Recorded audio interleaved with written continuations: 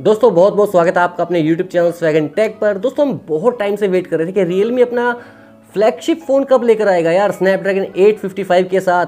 क्योंकि काफ़ी टाइम हो गया कि मिड रेंज प्रीमियम सेगमेंट ही वो निकाल रहा है। तो यहाँ पर खुशखबरी हम सभी के लिए। जी हाँ रियलमी ने ऑफिशियली अनाउंस कर दिया कि उनका एक स्मार्टफ़ोन जो है, वो स्नैपड्रैगन 855 प्लस के साथ यहाँ पर लॉन्च होने वाला है। तो दोस्तों, ये फ़ोन ग्लोबली कब लॉन्च होगा इंडिया में कब आने वाला है, और इस फ़ोन की स्पेसिफिकेशंस क्या होगी क्या प्राइस पॉइंट रह सकता है? आपको इस वीडियो में सब कुछ मैं बताने वाला हूँ। और दोस्तों, यहाँ पर ऑलमोस्ट सारी चीज़ें जो है वो कंफर्म हो चुकी हैं।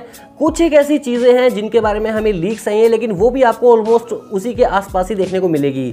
तो दोस्तों, इसी बात पे कर दीजिए वीडियो को लाइक लाइक का टारगेट रखते हैं पंद्रह का। और अगर अभी तक आपने स्वैगन टेक को सब्सक्राइब नहीं किया चैनल को सब्सक्राइब कर लीजिए, साथ इस बेलाइकन को दबा देना, ताकि आपको हमारे वीडियो की जानकारी सबसे पहले मिल सके।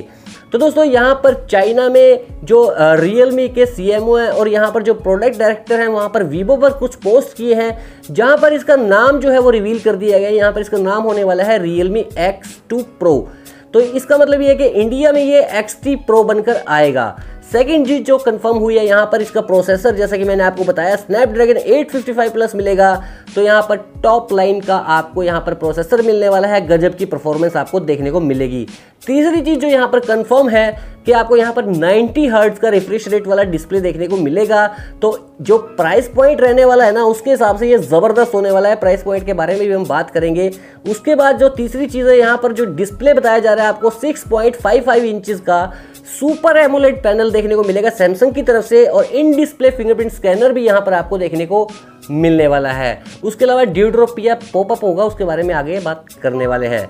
उसके बाद दोस्तों, अगली चीज़ की बात करता हूँ तो यहाँ पर आपको जो प्रीमियम डिज़ाइन है, जैसे कि आपको एक्स में देखने को मिलता था, कुछ इसी तरह का मिलेगा आपको आगे और पीछे आपको ग्लास प्रोटेक्शन के साथ साथ ग्लास बॉडी देखने को मिलेगी, और हो सकता है इस बार आपको जो है मेटल फ्रेम देखने को मिले।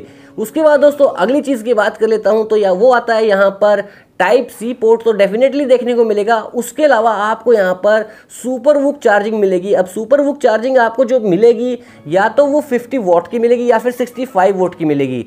तो 20 30 की तो आ रही है भाई। 50 की मिल जाए, वो भी बहुत है, और 65 की मिल जाए तो कमाल हो जाएगा। लेकिन इन दोनों में से आपको देखने को मिलने वाली है।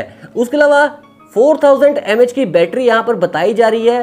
लेकिन कुछ रिपोर्ट्स के अनुसार यहाँ पर बताया जाता है कि साढ़े उन्नीस सौ की दो बैटरीज आपको जो है, वो इस फ़ोन में देखने को मिलेगी, जैसा वीवो वगैरह अपने फ़ोन में करता है।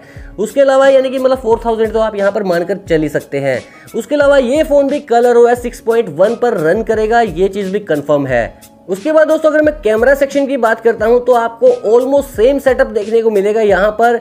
जी हाँ, आपको यहाँ पर क्वाड कैमरा सेटअप देखने को मिलेगा 64 मेगापिक्सल प्राइमरी कैमरे के साथ।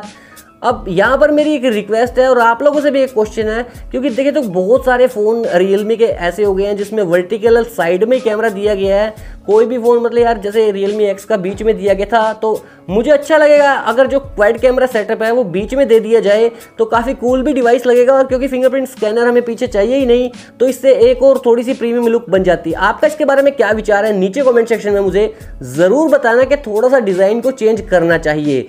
उसके अलावा दोस्तों अगली चीज़ की बात करते हैं। जो चीज़ कंफर्म है कि आपको यहाँ पर डोल्बी एटमोस का जो है सपोर्ट देखने को मिलेगा।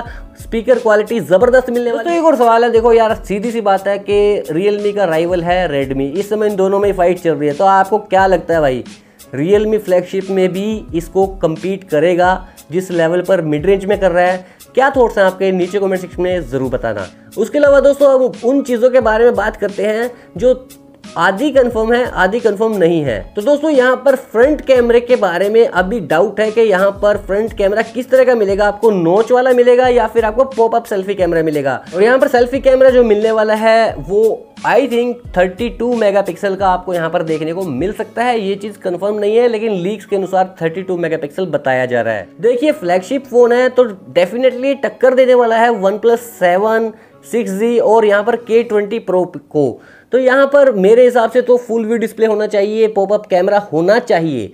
बाकी आपको क्या लगता है, एक फ्लैगशिप स्मार्टफ़ोन में मेरे हिसाब से तो ड्यू ड्रॉप थोड़ा सा पुराना हो गया है, चाहे 90 हर्ट्ज का रिफ्रेश रेट भी हो। आपके इसके बारे में क्या थॉट है, नीचे कमेंट सेक्शन में ज़रूर बताना। उसके अलावा ये बताया जा रहा है यहाँ पर कि यहाँ पर U F S three point storage आपको देखने को मिलेगी U F S two point one तो हमें तेरह चौदह हज़ार के फ़ोन में मिल रही है रियलमी के तो ये चीज़ भी आपको यहाँ पर देखने को मिल सकती है। उसके अलावा र्यूमर्स ये भी आ रहे हैं यहाँ पर कि ये phone out of the box आपको शायद एंड्रॉयड टेन पर देखने को मिले। जब इंडिया के अंदर आए। कलर ओएस तो आपको मिलेगा डेफिनेटली अगर टेन पर आता है तो काफ़ी अच्छी बात रहेगी, नाइन पर भी आता है तो अपडेट आपको यहाँ पर डेफिनेटली देखने को मिल जाएगा। उसके बाद दोस्तों बात कर लेता हूँ इस फ़ोन की लॉन्च की। जी हाँ तो बताया जा रहा है कि चाइना के अंदर तो ये फ़ोन आपको इसी मंथ के एंड तक देखने को मिल जाएगा, यानी अक्टूबर में वहाँ पर लॉन्च होने वाला है ये फ़ोन उसके अलावा इंडिया लॉन्च की बात करता तो ये नवंबर के लास्ट में या फिर हो सकता है ये दिसंबर के फ़र्स्ट वीक में लॉन्च हो सकता है। रियलमी हमेशा डबल धमाका करता है। तो मुझे ऐसा लग रहा है कि एक्स टी सेवन थर्टी और यहाँ पर सेवन थर्टी जी और यहाँ पर जो एक्स टी प्रो है, वो दोनों ही फ़ोन वो शायद एक साथ जो है वो लॉन्च करें। आपको क्या लगता है दोनों एक साथ लॉन्च करेंगे या अलग अलग करेंगे? नीचे कमेंट सेक्शन में ज़रूर बताना। उसके अलावा दोस्तों बात कर लेता हूँ प्राइस पॉइंट की। तो यहाँ पर ये भी इन्होंने एक पोस्ट में वन प्लस को थोड़ा सा ट्रोल किया है कि इसका प्राइस जो है नाइन्टी हर्ट्स वाले का आपको ज़्यादा लग रहा है कम लग रहा है। तो वन प्लस सेवन से जो उनका प्राइस है वो कम रहने वाला है ऐसा उनकी तरफ़ से थोड़ा सा स्टेटमेंट आया है। आपको क्या लगता है कि ये इंडिया में किस प्राइस पॉइंट पर ये आना चाहिए? मेरे हिसाब से अगर बेस वेरियंट छः चौंसठ का आता है ना तो मुझे ऐसा लगता है कि पच्चीस हज़ार से लेकर तीस हज़ार तक होना चाहिए, तीस हज़ार से ऊपर शायद ना जाना चाहिए। तो इन स्पेसिफिकेशन के हिसाब से आपको क्या लगता है कि क्या जस्टिफाइज प्राइस होगा इस प्रोडक्ट का। और दोस्तों, आपसे तो बस एक ही रिक्वेस्ट है, अगर आपको वीडियो अच्छा लगता है ना, अगर बुरा लगता है तो भाई कुछ मत करो लाइक भी मत करो शेयर भी मत करो। अगर अच्छा लगता है तो एक मिनट लगता है वीडियो को लाइक करने में और शेयर करने में। तो दोस्तों, उम्मीद करता हूँ वीडियो आपको अच्छा लगा होगा और थोड़ी सी भी हेल्प मिली इस वीडियो से तो इस वीडियो को लाइक और शेयर कर दीजिए। चैनल को सब्सक्राइब करना मत भूलना। मैं मिलता हूँ आपसे अगले वीडियो में। अपना ख्याल रखिए, अपने परिवार का ख्याल रखिए। धन्यवाद, जय हिंद।